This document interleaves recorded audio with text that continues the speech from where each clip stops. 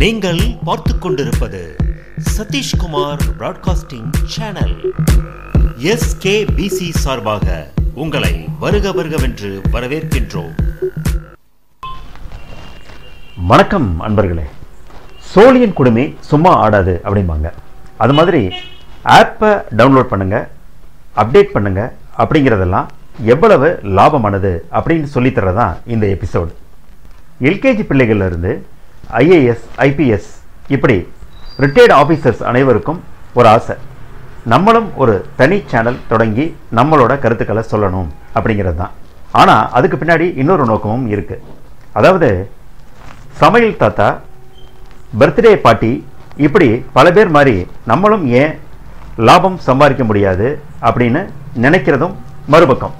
இப்படி எல்லாருமே என்ன செய்கிறாங்க யூடியூப் ஆரம்பித்து அதில் வருமானம் ஈட்டணும்னு நினைக்கிறாங்க. உள்ளபடியே அவங்கெல்லாம் டாலர் கணக்கா ஏன் ரூபாயில் சம்பாதிக்கிறாங்களா அப்படிங்கிறது தனிக்கதை அது நமக்கு விவரம் இல்லை. இருந்தாலும் யூடியூப் இதனால் எவ்வளவு பயன்பெறுது அப்படின்னு இதில் பார்க்கலாம். ஏன்னா அவங்க போடுற பேனர் ஆடு அப்புறம் இன்னும் சில வீடியோ ஆட்லாம் நீங்கள் பார்த்துருப்பீங்க. அதில் கோடிக்கணக்கான வருமானத்தை யூடியூப் ஏர்ன் பண்ணுது. தொட்டால் பூ மலரும். ஆனால் ஃபேஸ்புக்கை பார்த்தாலே காசு புரளும். இதுதான் ஃபேஸ்புக்கோட கதை.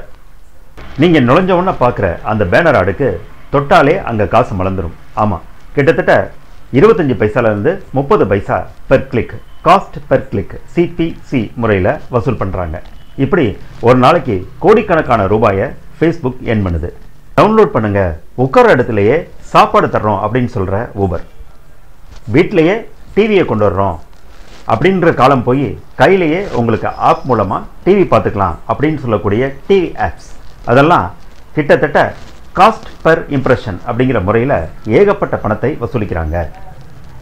ஐஆர்சிடிசி சன் நெக்ஸ்ட் அப்புறம் இன்னும் நிறைய ஆப் இந்த ஆப்லாம் பைசா கணக்கில் நம்மகிட்ட என்ன செய்கிறாங்க காஸ்ட் பெர் இம்ப்ரெஷன் அப்படிங்கிற முறையில் பணம் வசூலிக்கிறாங்க. இது தவிர ஃப்ளிப்கார்ட் அமேசான் இன்னும் பல ஆப்ஸ் எல்லாம் இருக்குது அதெல்லாம் நீங்கள் டெய்லி வந்து பயன்படுத்துகிற ஆப்பு நமக்கு தள்ளுபடி கிடைக்குதோ இல்லையோ விளம்பரத்தில் நிறையா லாபம் கிடைக்குது ஃப்ளிப்கார்ட்டுக்கு ஒரு பேனர் ஆடுக்கு விலை மட்டும் எவ்வளோன்னு நீங்கள் பாருங்கள் இருபத்தஞ்சு லட்சம் ரூபாய். மாதிரி டிவியை ஸ்ட்ரீம் பண்ணுறாங்க இல்லையா? இந்த டிவி ஸ்ட்ரீம் பண்ணுற ஹாட் ஸ்டார் ஹாட் ஸ்டார் பண்ணுறது முப்பத்தஞ்சு லட்சம் ரூபாய். பேனர் ஆடுக்கு மட்டும். இப்படி ஒவ்வொருத்தரும் என்ன செய்கிறாங்க நம்மளுடைய டேட்டாவை சாப்பிட்டு அவங்க என்ன செய்கிறாங்க லாபம் பார்க்குறாங்க. அது மட்டும் இல்லை நம்ம என்ன செய்கிறோம் இப்போ பேசுகிறதுக்கு பயன்படுத்துகிற ஸ்மார்ட் ஃபோன் அதை என்ன செஞ்சிட்டோம்? அறுபத்தி நாலு ஜிபி நூற்றி இருபத்தெட்டு ஜிபி ரேம் நாலு ஜிபி இப்படின்னு ரேமையும் ஜிபியையும் பெருக்கி பெருக்கி பெருக்கி என்ன செஞ்சிட்டோம்? மினி கம்ப்யூட்டராகவே மாற்றிட்டோம் தேவையில்லாத ஆப் நமக்கு இடத்த அதிகமாக கன்சியூம் பண்ணுது. அது தவிர உங்கள் டேட்டாவையும் சாப்பிடுது. அப்டேட் அடிக்கடி பண்ண சொல்லும். நமக்கே தெரியாது. உடனே அப்டேட் பண்ணலைன்னா ஃபோனே ஹேங் ஆயிரும். குறிப்பாக வயசானவங்களுக்கு இந்த அப்டேட்னா என்னன்னே தெரியாது. ஆனால் ஃபோன் அங்கே ஹேங் ஆகிருக்கும் பக்கத்தில் என்ன செய்வாங்க? போய் ஒரு சர்வீஸ் சென்டரில் கொடுத்து அதை என்ன செய்வாங்க? சரி பண்ணுவாங்க. ஆனால் இப்போ இந்த அப்டேட் ப்ராப்ளம் என்னன்னு தெரியல. மூணு மாதத்துக்கு ஒரு தடவை ரெண்டு மாதத்துக்கு ஒரு தடவை வந்துகிட்டு இருந்தது. இப்போ வார வாரம் வர ஆரம்பிச்சிருச்சு. அதுக்கு காரணம் இந்த விளம்பர முகம் தான் அப்படிங்கிறது எங்களுடைய கண்டுபிடிப்பு. சில ஆப்ஸில் வர்ற விளம்பரம் பார்த்தீங்கன்னா ரொம்ப ஆபாசமாக இருக்கும். அந்த ஆப்ஸில் வர்ற விளம்பரம் உங்களையும் தூங்க விடாது பக்கத்தில் உள்ளவங்கள்ட்டையும் கெட்ட பேர் வாங்கி தரும். அதனால் தேவையில்லாத ஆப்ஸை தயவு செஞ்சு டவுன்லோடே பண்ணாதீங்க.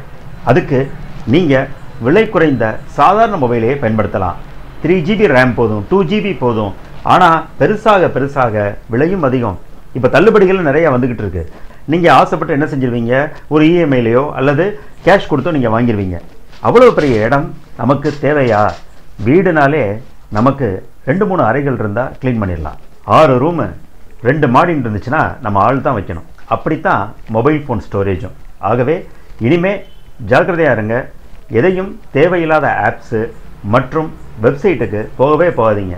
போனீங்கன்னா ஒரு பக்கம் விளம்பரதாரர்களுக்கு லாபம். நமக்கோ தேவையில்லாத படங்கள் வந்து சேரும் தேவையில்லாத தகவல்களை சேகரிக்கிற குப்பை தொட்டியாக நம்ம மொபைல் ஃபோன் மாறிடும்.